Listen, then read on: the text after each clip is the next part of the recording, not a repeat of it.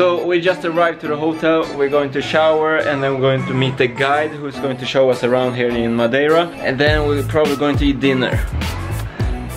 Do you enjoy this balcony? This is off the hook. I Eine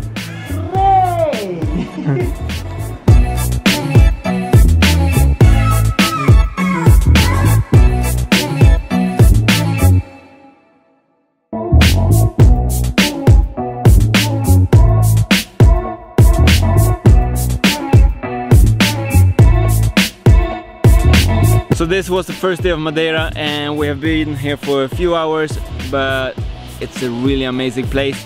So see you tomorrow.